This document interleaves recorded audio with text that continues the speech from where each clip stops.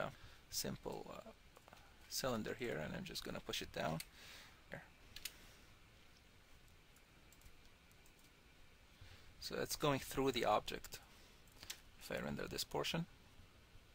Now you see that the cylinder is uh, intercepting the object but it doesn't render if it's behind it and that will be a great idea for you if you let's say for example if you want to put a shovel here or whatever item behind the object and you still can't composite so all you have to do is just build a dummy object right in front of it and that object will have the MIP matte on it and then this way you can start compositing it.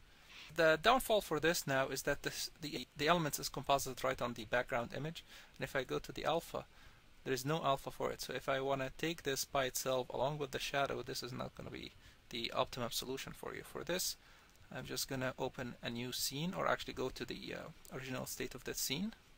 So I reopen the scene and pre-rendered the image and you can see here there is no alpha. So I'm gonna keep this image for future comparison.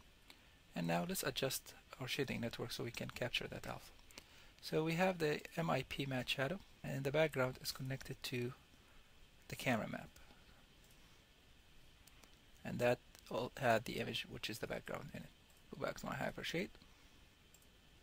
So I'm just gonna zoom out a little bit and I'm gonna break the connection. If you notice here there's taken out value A and out value.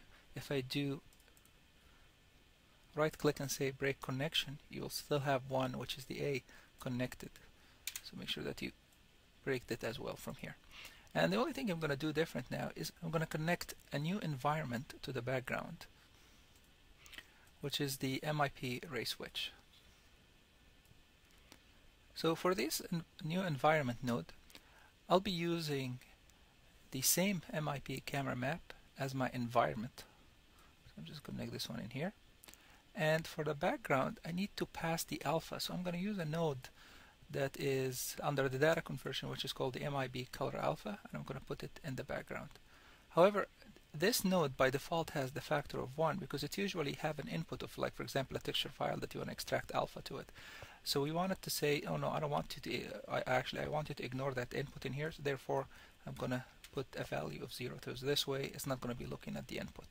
So let's have a quick look at what we've done so far. We have the ray switch connected to the MIB color alpha as the environment and we have a couple of parameters here. So the map obviously is connected to the uh, texture file. The multiplier is if you want to increase the intensity of that map, you can multiply it by this value. We, of course, this is 1, so therefore it's going to be 1 to 1. The D gamma, since we already have a, uh, a lens shader, the Maya simple exposure shader, and we put the gamma over there 2.2, so we need to match it. Therefore, we're going to place 2.2 in here. Per pixel match, that means we stretch the image that we have for the in uh, background to fill the screen size, which is the render size. If it doesn't, it should have a warning in at the bottom saying it doesn't match. Uh, however, if you say per pixel match, that means the image will be aligned bottom left to the screen size bottom left. And if it doesn't match, obviously it will have uh, a cut or a, a, black area because it didn't uh, fit in the screen. So let's render this and see what we've done so far. Alright, so we see now obviously the shader doesn't look at the background color anymore. However, if you look at the alpha, you see the alpha is being captured in here. And this is get us closer to what we want. Uh, I'm going to keep this image here because I want to show the po next point which is transparent alpha. And actually this is, will make more sense when I render. So if I enable this and render, you will see here the alpha now is capturing the actual geometries plus the, uh, the shadow. So that sometimes can, if you want it to be in that uh, particular situation for the composite, we can have the color still capture the background, but when we enable the transparent alpha, will give us an alpha of the of the geometry along with the shadows. So I'm just going to disable that for now because I don't need it.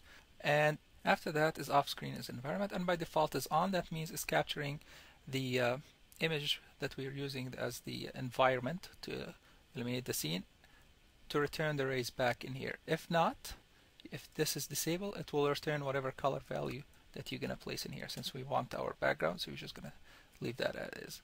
So if we look at the color now here, the only thing we need to fix obviously is the camera. So we, we fixed the shader on the plane. We need now the camera to ignore that image. So we're just going to go back to my camera. and you see the environment shader is still MIP ray switch so I'm just, so I'm just going to modify it in here a little bit I'm just going to go my hypershade. And I wanted to ignore the background so I'm just going to break this connection but I wanted also to pass the alpha. So if I go to my utility I'm going to use the same MIB color alpha node. So let's render one more time.